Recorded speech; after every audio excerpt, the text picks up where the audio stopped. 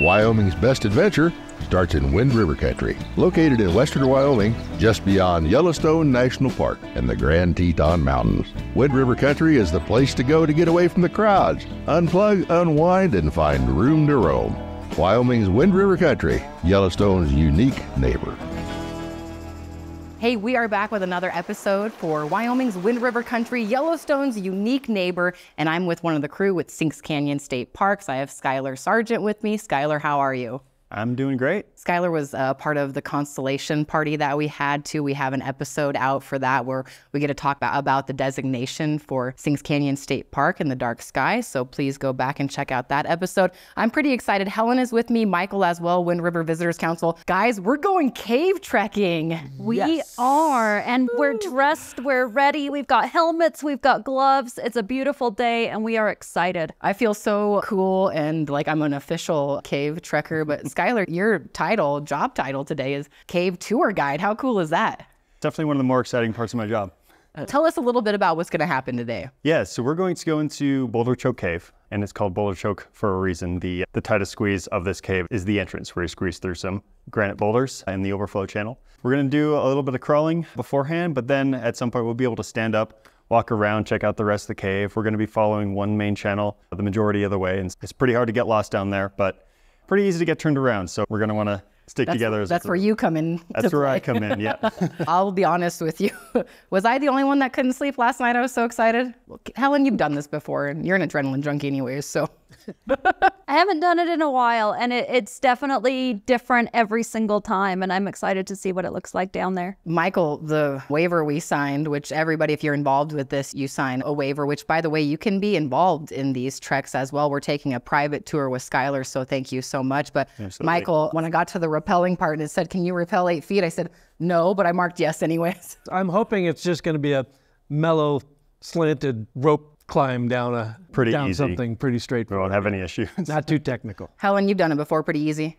Yes. Nothing to worry about. Oh, nothing to worry about. That makes me excited. But I was a little, I was like, I'm a little afraid of heights. How, what, it, I didn't know what to expect, Skylar. So anything else along the route to, to be mindful of? Other than the advertised eight foot drop, which is more of a little slide, there is a hole that we call the toilet bowl. It's in the lunchroom. I'll be in front of the group, and so I'll be pointing it out. But what we really want to do is just stick to the left-hand side of the trail, and we should be fine. It's a pretty easy slope down into the room, and we shouldn't have any issues. Does this toilet bowl suck you in? Will it suck you in? It does Can not it suck you in. It shouldn't be. It shouldn't be. If there's any kind of suction, something is terribly wrong. It's a small hole. It's just a five foot drop, but it's something that comes out of nowhere, and so we just want to make sure everyone's mindful of its location. I'm looking forward to a little lesson in not only cave trekking, but this great piece of Fremont County. Helen, it's so great that the Wind River Visitors Council does things like this. Of course, this podcast is aimed as an immersive experience. So we're taking our recording equipment into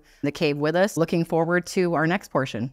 We're here. I cannot see or seem to find the entrance. It's that well hidden. Is that on purpose, Skylar? Yeah, so we don't really like to advertise the entrance of the cave. We just don't want anyone being able to stumble their way upon it.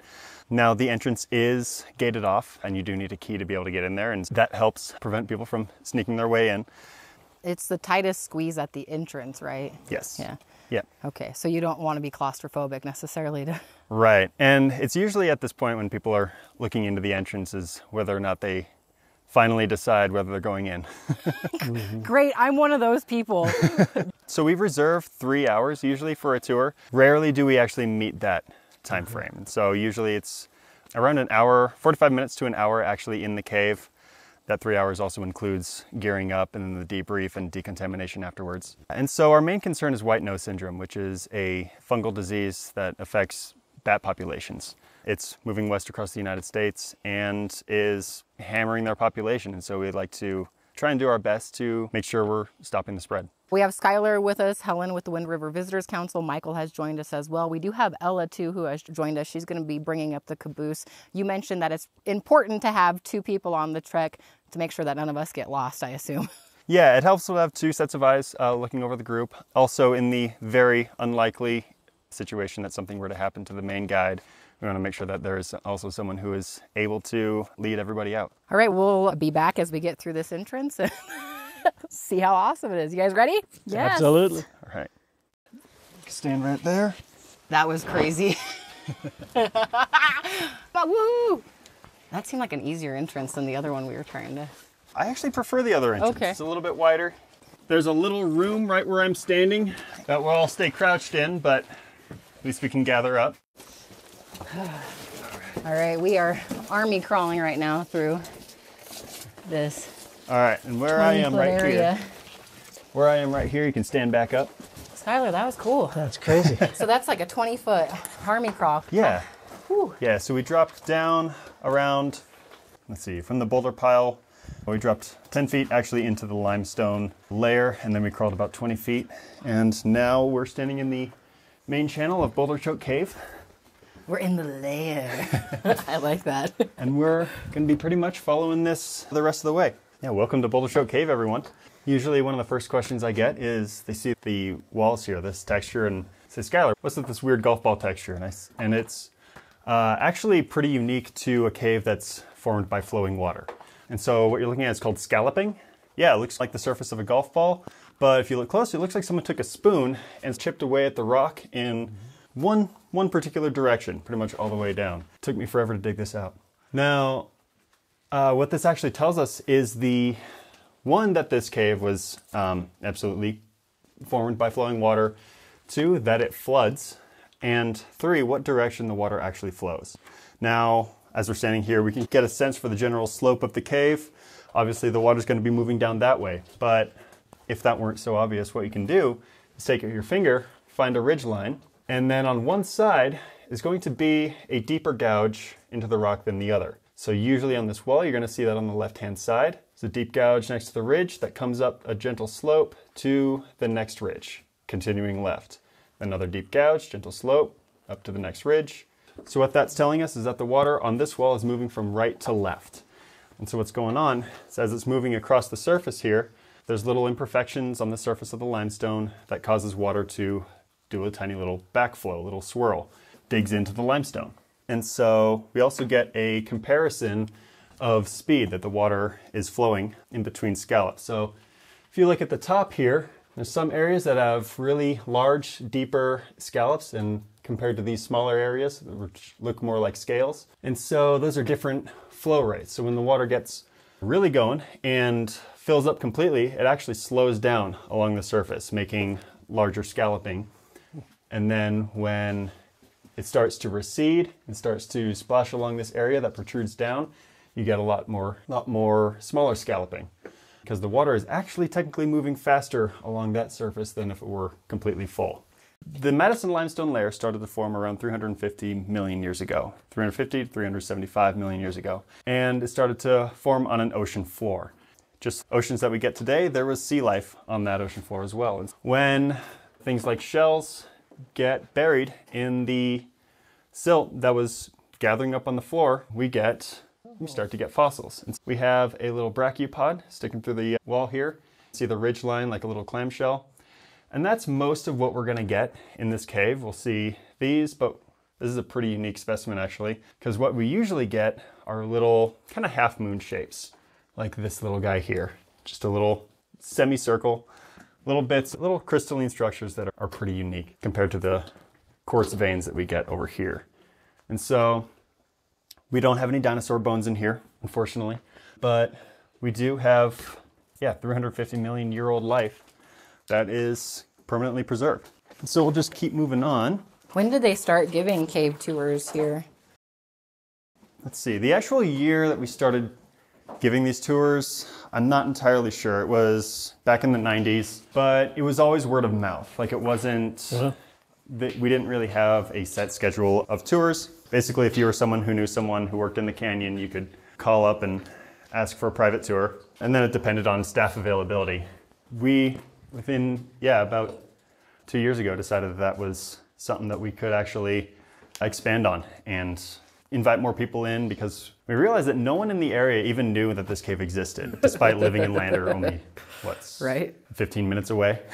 It's funny how that happens in your own backyard. yeah, exactly.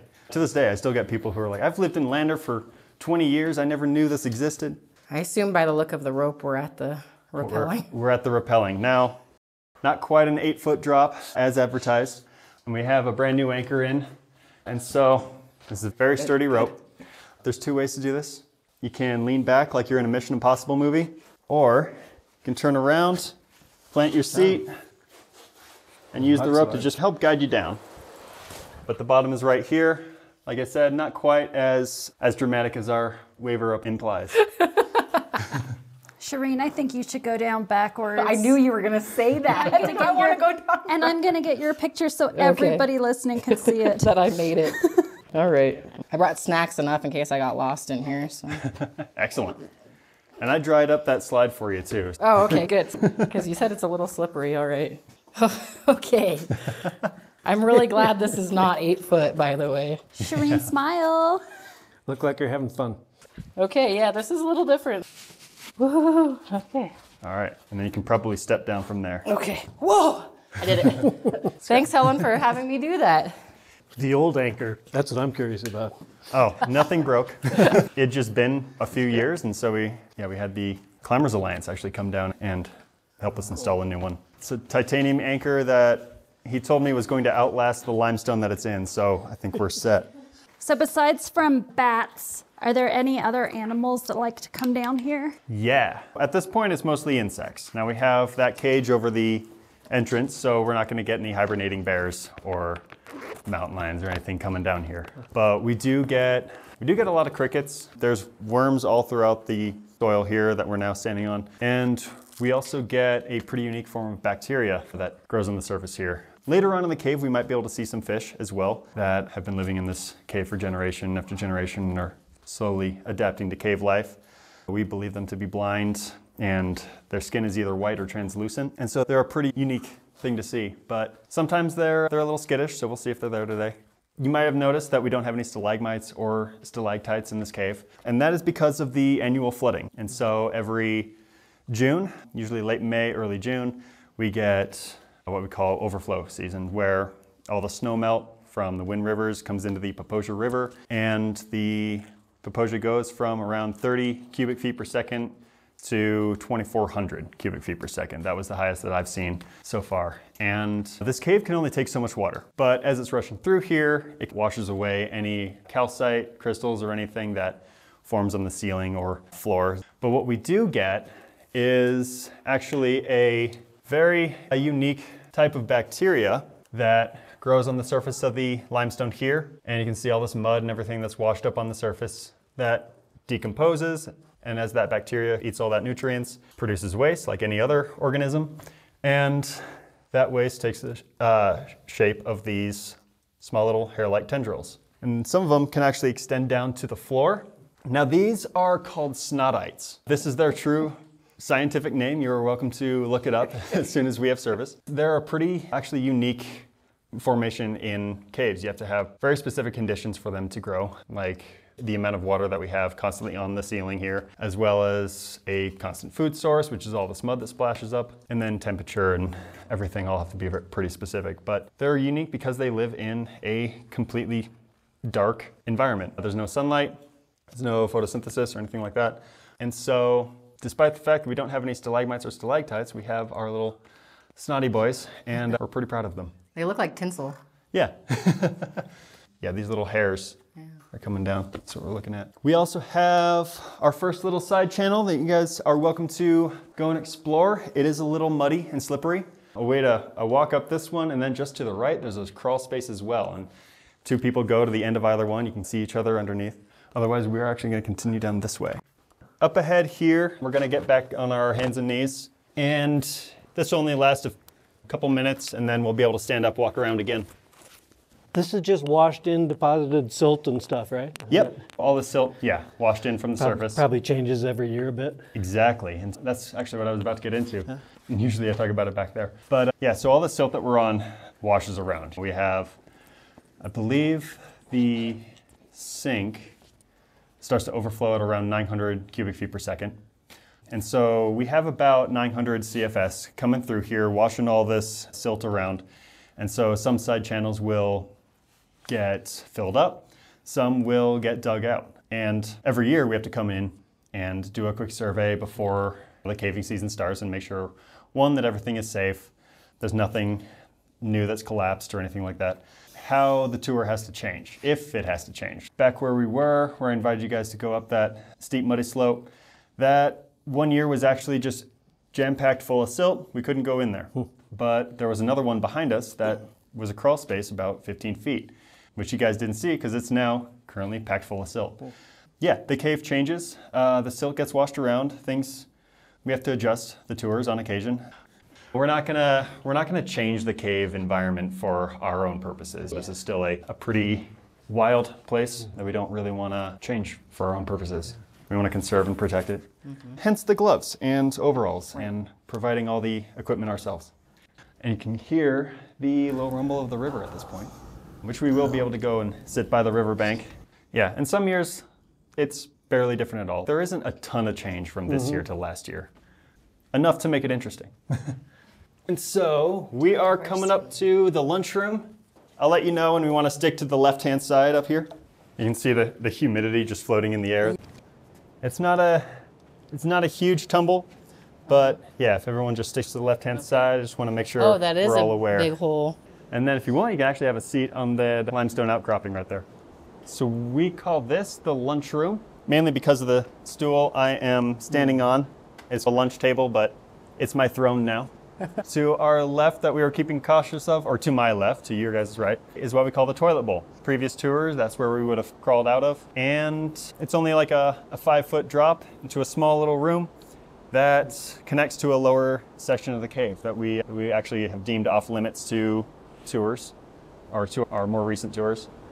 What percentage of people that come down here need to leave because they're claustrophobic? Probably, I would say maybe 1%. One percent. Um, so most people can do this. This is a, a good tour for most visitors. This is a very easy entry level tour. And honestly, what we've seen is that now people will see the entrance and decide right then and there whether they actually want to do this or not. Yeah, I hope more people find out about this in the area. But we have so many visitors that come to Grand Teton and Yellowstone that drive through the Lander area. I'm sure you you pick up some of those folks too that are looking for cool things to do. Oh, yeah. A large percentage of our traffic are people who are just traveling to Yellowstone. They found a, they were looking for a place to camp along the way, and our park popped up. Yeah, that's why this podcast is called Wyoming's Wind River Country, Yellowstone's unique neighbor, because Oh, yeah, there we go. really are. and as far as ages, do you have a minimum age for people Yeah. coming in? So we have a minimum age of 10, 10 years old right now. And yeah, and that's honestly to make sure that they can be independent because when you're crawling through or when you're going up and down the rope, you don't want a parent who's also trying to hold their kid in the process. Yes, it's a easy and entry level cave, but there is a level of, of independence that is required to be able to actually maneuver this experience. Yeah, we keep it at 10 years old. Our caving season is usually around September to end of March. But what we're really looking at is the is what the water's doing. What the snow melt is doing in the spring and then what the water is doing in the fall. Like we started taking people in this year actually in August and those were again just some special programs not part of our main every other Saturday tour. We felt confident that we could take people in here because the water had receded for long enough and everything was dry in here. But we're very closely monitoring the water and we like to give at least a month's window between our last tour and the estimated flood year, which again is based on temperatures when the flood last year was. And yeah, Is this we- like a microclimate in the winter when you take Yeah. treks? Yeah, like warmer in here. It's significantly warmer in here. Hmm. It stays a, a steady 50 to 55 degrees, and so it can be negative 20 degrees out, and we'll still do a tour because we're down here. It's warm. Yeah. We'll be taking off our seven layers of winter Yeah. gear as soon as we crawl in. That is, of course, unless the entrance is buried under snow, and then we're, we're not, of course, not going in the cave that day. Michael, you do a lot of activities, I imagine, outdoors. Yes, I do. I try. If you're friends with Helen, you do. Is this something that was on your bucket list? No, I hadn't even thought about this. I've been in some different kind of caves, lava tube caves up in Northern California. I've never been to any of the big national park caves or anything, and I didn't really realize anything about this actually until Helen told me about this opportunity. This is really something else. Another thing that we're watching throughout the season is just precipitation. There's a general rule in caving of if there's going to be rain that day or during the time that you're in a cave that we you do not go in that cave. And so now we don't actually see no serious fluctuations in the river that are caused by that day's precipitation, but we just never know. We don't want to we don't want to test that. So we're just sticking to again standard caving protocols that people should be following. And we don't make our cave any different. I can imagine the claustrophobia as long as as long as lights are on, you can see. It's Yeah. big open space, but boy, if the lights are out, oh, you just freaky. Exactly. And that's why I've got a Yeah, ton of spare lights, ton of spare backup. batteries. there is a general rule in caving that you have three three spare lights in addition to your main one, and I just carry that for everybody because can't always rely on everyone to bring their own spare lights. Speaking of which, though, does anyone want to experience what it's like to be in a cave with all the lights off? Yes. Woohoo. So I'm actually going to keep mine on for a little bit because there is actually a, an interesting phenomenon that your brain does when all the lights are off. Now, something that your brain does in low light situations, let's say you wake up in the middle of the night to go and get a drink of water from the fridge, your brain will actually fill in the blanks of what it expects to be there. And it's just a way to help with your night vision. And like it might fill in the location of your coffee table. You might not actually be able to see your coffee table, but your brain expects it to be there, so it'll project that image in front of you. You might be able to see the, the handle to the fridge, and it might try and fill in the blanks here in the cave. Now, for some of you, this is your first time in here, and none of this is really familiar territory for you, but having been in here well over 100 times at this point, the texture of the cave walls actually will start to appear in my vision after a few seconds. If I wave my hand in front of my face, I'll see the projection of movement. I won't be able to see the details of my hand, but I'll see something moving in front of me. Hmm. Again, it's not something I can actually see, but it's something that your brain projects in front of you because it expects it. And so you might experience that. You might not see anything at all. Uh, everyone has a different experience when they're trying this out. So I'm going to turn my light off here in a sec. Uh, I'll keep it off for about 30 seconds before I check in with everyone. And we'll, we'll just enjoy the static of the uh, river and the sort of sensory deprivation effect. This can be too much for some people. And so, if that's the case, remember you do have a light on your head. Uh, You can turn it on at any point. Yeah, if anyone is uncomfortable, I actually encourage you to turn your light back on. You won't be ruining the tour for anybody. I'll turn this off in three, two, one. Oh my gosh, it's so dark.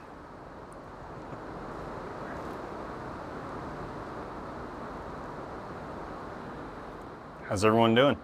All right. Good. It's funny. I swear I see that scallop thing in the background of my eyes, but it may be just Oh, yeah? my eyes. Yeah, we've been looking at scalloping all day, mm-hmm. so I wouldn't be surprised if, if that appears for you. Yeah, and I'm seeing just enough glow to where I can actually see my hand in my face if I wave it. But let's see. There is another phenomenon that I want to show you guys. So this comes with a backstory. Back when I was around 12 years old, my uncle took me to Lewis and Clark Caverns. That was my first caving experience. It's all on an established path. There's railing, there's mounted lights. And so it's not like a spelunking tour, but it is it's a really fascinating tour for experiencing what a cave can be like. They did a demonstration where they turned off the lights, they put a light on the wall, held it for a few seconds, pulled it away, and there was a little glowing dot hmm. on the wall for just a couple seconds. And I was 12. I didn't exactly listen to the explanation as to what was going on, but I went back for a candlelit Christmas tour. Now they didn't do the same demonstration then, but I remembered, and so I asked what what type of rock they were in. He said it was the Madison limestone layer. I was thinking, oh, perfect. That's the same material, same rock that my cave is in. And so came back here, and on a tour, I just grabbed a light. When we had all had our lights off, held it against the wall, pulled it away, and sure enough, there was a, a glowing dot, which I'm like, thank you for working because this would have just been awkward. It was during a tour, and it was like, this is the first time I'm trying this, so let's see if it works. Choose a spot that is good direction towards you. The trick here is to not stare at this light. I know it's the only thing you can see right now, and so we're all visual reliant creatures, and we just Looking want to away. stare at the only thing we can see. But mainly, what I'm doing is just charging the rock. Hmm. And there is a imperfection in the limestone, or what we believe to be the cause of this is an imperfection in the calcite of the limestone where manganese has bled through the rock uh, with the water as it's coming through and bonded with that calcite and created phos- uh, phosphorescent properties. And to be honest, that whole scientific explanation might be wrong. we're, not, we're not entirely sure why that is, but that's the best explanation that I've been able to find. Uh, so far, I've only gotten it to work in this room. And so what that tells me is that there's probably a mineral pocket somewhere above us that has that is bleeding into the rock in this room. However, I am not a geologist. I'm not entirely sure. What I'm gonna do is pull this away, and when I do, just have everyone look at exactly where my light is, and it's- it's only gonna last a couple seconds. So we can do this as many times as we need as well. Ready? Three, two, one. Oh, Does anyone see saw that? just a blip. So all three of you saw it? Yeah. Yeah, I saw a blink. Yeah, and that little blip is all we're looking at. And so we've tried other we've tried other lights, like much brighter lights on there. There seems to be a cap actually, or a maximum amount of charge that the rock can receive. Hmm. So it never actually gets brighter than, than what you just saw. And Skylar, you mentioned other caves in the area. Are there other caves that people can visit, or are those more more serious and not for for visitors? I'm never going to in people to seek out caves unless they know what uh, know what they're doing. Um, so, being in a limestone shelf or in a limestone layer of rock, and the amount of precipitation we have, and the active river that goes through the area, there are other caves that are likely even potentially connected to the cave system that we're in now but the entrances of which we don't actually advertise. There are likely way more caves in the area than we know about, but the few that we do know of, we don't advertise because we don't want people to go and explore them because they're not fully explored and necessarily mapped out. And even just coming in this cave, which um, has one clear tunnel and a whole bunch of little kind of miniature tunnels coming off of it, I can see how it can be really disorienting. Yeah. And and yeah, I was curious. I know that this is this feels like a very safe experience and I know you've got a lot of the safety equipment. I saw some safety equipment when we first came into the cave itself. Are there places in the United States where somebody could go and learn about safety of caving if they wanted to pursue that? Yeah, actually. And there's there are other advertised commercial cave tours. Like I said, the Lewis and Clark Caverns is one as just an ex- it's just a way to experience a cave, see if that's an environment that you're actually willing to be in. But then if you want to learn spelunking and learn the equipment, learn the ethics behind cave exploration, talk to a a grotto, which is another word for a caving group. There is the National Speleological Society, where most caving groups are actually registered under. And there's, I believe, dozens around the United States. The closest one here is the Hole in the Wall Caving Grotto. I believe they're based out of Casper. I might have to double check that. Is there a degree in caving? There is not a degree in caving. There are no certifications currently established for caving. Hmm. However, the National Speleological Society is actually working on establishing cave rescue certifications. And so hmm. they do put on trainings, which is the cave rescue training that I went to down over in Cody. We went and did a mock rescue in Spirit Mountain Cave. There are further trainings to do as well.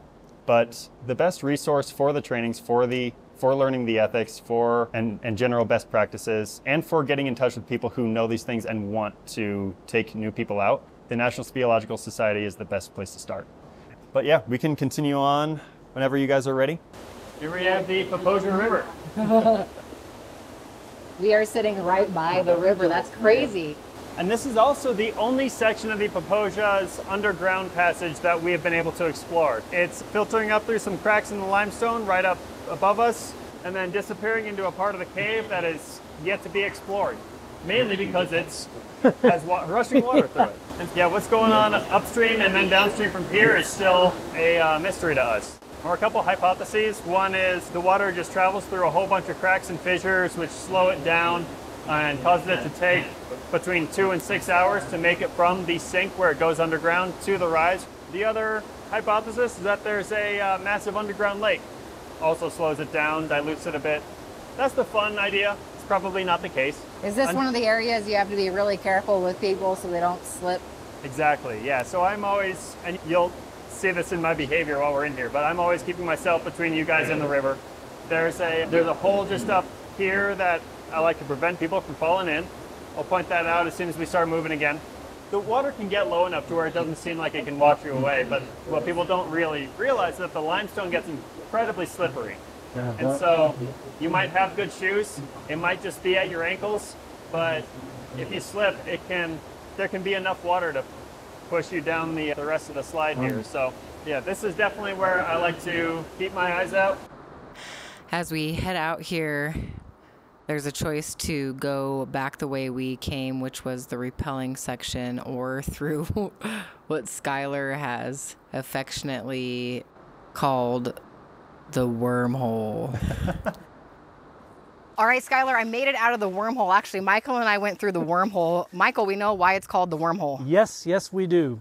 My arms are completely dirty black from crawling through. That was intense, wasn't it? That was pretty tight stuff. Yeah, that was the real deal. That was the real deal. Yeah, that was cool to end it that way, though. I'm glad that I made the choice to go the more difficult route. Do you get anybody stuck in that thing that they're like, I got to turn back around? No, we've never had anyone stuck in there. Yeah, generally some people see that tunnel and just say, not today. Yeah. And, yeah. uh, and yeah, for the most part, people are really good at just identifying their own limits, and so we haven't had yeah we haven't had any issues. Helen, what was your most fun part of the trek? I liked looking for the whitefish. That was fun. And it's so pretty down there. I love the textures on the cave. I love the water. Just that calm pool down there is unexpected with the sound of the rushing river in the background. Yeah, definitely. I wish I would have seen the fish. Michael, you and I are fly fishers. I, we neither one of us I caught them. didn't see him.